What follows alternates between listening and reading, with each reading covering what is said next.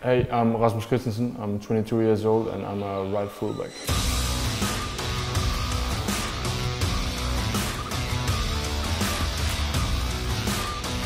I've been looking forward to, to this day since I've heard about the, the opportunity of going here. So yeah, I'm really, I'm really excited. I'm uh, just uh, want to get started and uh, want to play some football.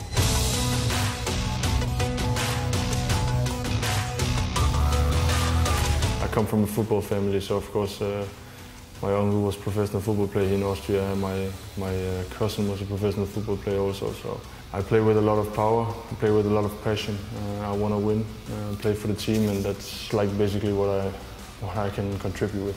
Champions League. I think that's what everybody is looking forward to. It's going to be exciting. Uh, I can't wait. So I think that's uh, that's the thing. I know a little bit of German. I think I understand most of it, but it's difficult for me to, to speak it. But I think uh, I think it will come pretty fast. I'll have some some few lessons, so uh, I think there will be uh, time problem.